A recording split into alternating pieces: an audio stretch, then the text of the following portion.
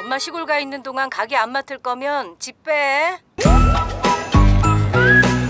밥을 얇게 펴라고 얇게 이게 신나라 김밥 비법인데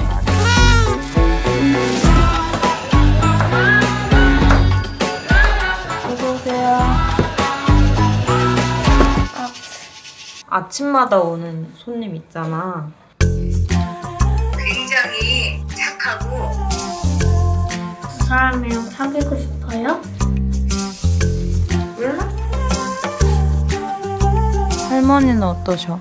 다 안 좋아지셨어? 걱정이네. 울어? 안 울어. 미워 미워 미워 아 좋아질 거야